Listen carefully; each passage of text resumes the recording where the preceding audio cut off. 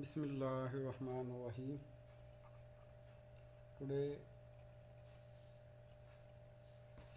we will discuss synthesis of para-nitroaniline in course CHM 620.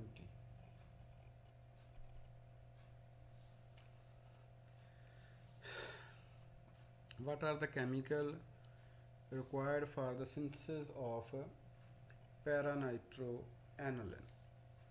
First, we required aniline, then acetic anhydride and glacial acetic acid. So basically, we will synthesize para-nitroaniline in three steps. In first step, aniline is treated with acetic anhydride and heat it will converted into acetanilide and acetic acid will be formed. So this is the chemical reaction of first step.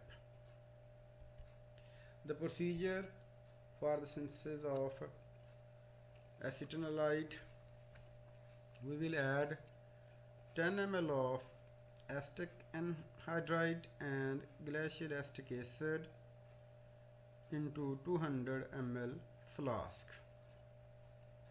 Then fitted the flask with longer air condenser and boil the mixture for 10 minutes.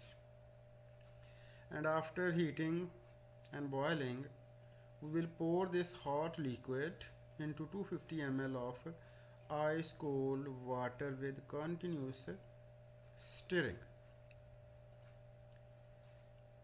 Soon the acetanilide will be crystallized out. So the hot mixture we will pour into a cold water with continuous stirring and we will get the crystal of acetanilide. Then we will filter by through suction pump and wash it with water to remove any kind of residue. Then recrystallization of 50 ml of mixture of acetic acid with water. Then filter of the colorless crystal at the pump section, dry it and recorded the melting point of the compound that is acetanilide. So in the first step we will synthesize acetanilide from aniline and in the second step the acetanilide will be nitrated so we will get para-nitroacetanilide so nitration will be done in the presence of nitric acid and sulfuric acid. So nitration take place at 6 number position that is para-nitroacetanilide so what are the chemical required for the synthesis of para-nitroacetanilide again we will get glacial acetic acid acetanilide that we have synthesized then concentrated sulfuric acid and nitric acid. So these four chemical are required for the synthesis of second step that is para-nitroacetanilide the procedure we will add glacial acetic acid in a boiling tube and then add acetanilide into it. Then the mixture was stirred and then we add concentrated sulfuric acid into the above mixture. The hot reaction mixture was cooled in a ice salt bath till there was a temperature drop to 5 degree Celsius then we will add slowly fuming nitric acid ensuring that temperature do not rise above 20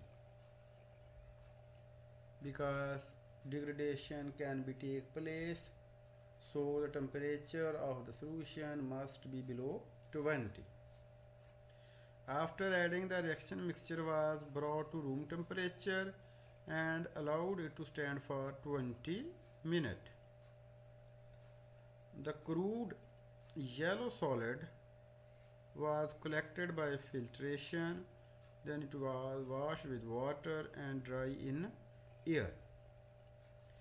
And after that recrystallization also done by using hot methanol dry in the air and recorded the yield of the product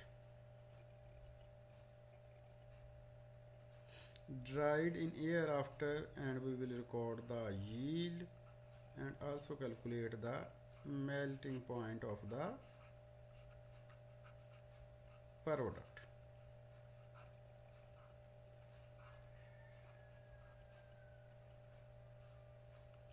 So this is the second step which we used.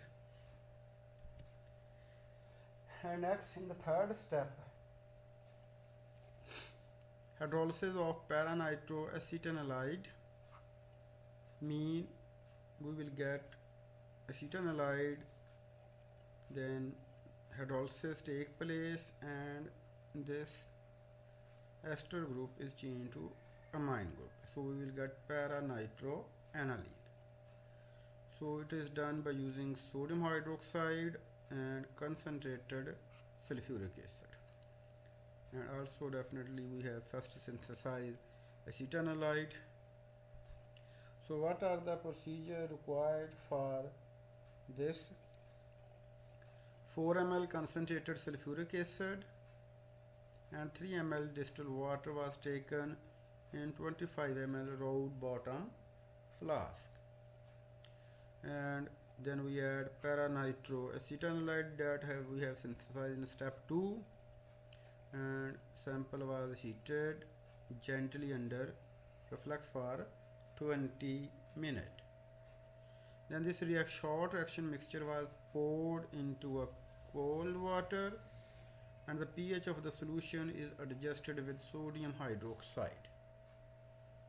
So sodium hydroxide is basically used to adjust the pH of the solution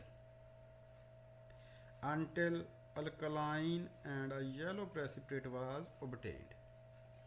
So we will cool the mixture in an ice bath.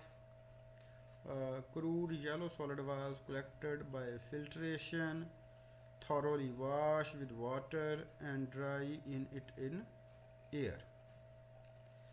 Again it was recrystallized by using ethanol water mixture to obtain bright yellow crystal of the compound that is para-nitroaniline. So in this way we will get our required product involving three steps. In first step we have synthesize our first product that is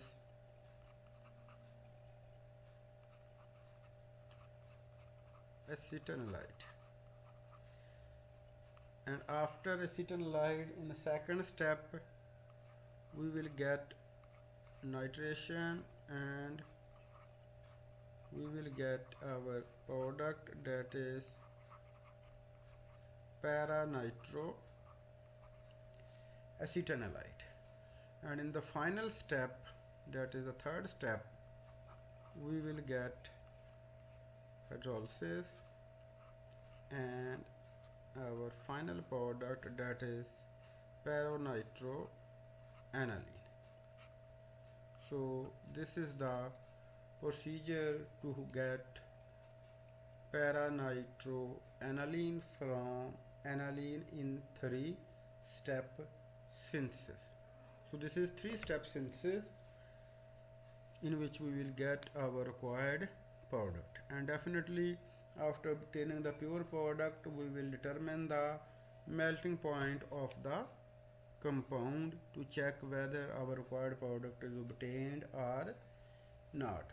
And also we can verify it using spectroscopy like we will get IR spectra and UV visible spectra to check out the required product. Thank you very much